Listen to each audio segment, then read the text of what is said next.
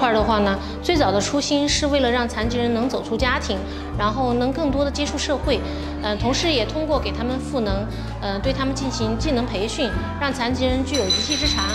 可以通过他们自己的努力，然后能够获得自己的经济收入。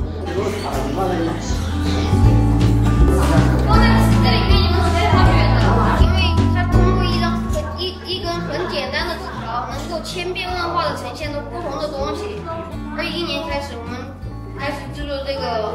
大运会的特许商品。在制作过程中也遇到一些困难，因为制作这个量量比较大，我们要有更多的我们的残疾朋友加入到加入到制作过程中来，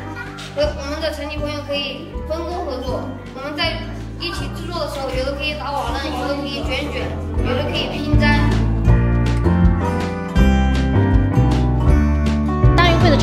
那，也给我们的残疾人带来了一个非常大的舞台，可以让他们的一些巧思和他们的一些嗯灵巧的手作产品，可以通过大运会这个平台走向世界，也特别体现了我们成都作为一个成就梦想之都的一个呃城市理念的体现。我们作为一个全龄友好包容的社会，会有更多的残疾人、更多的特殊人群，通过我们搭建这样的平台，能够呃让他们的生活更幸福、更美好，给他们更好。好的平台去追梦、逐梦、筑梦。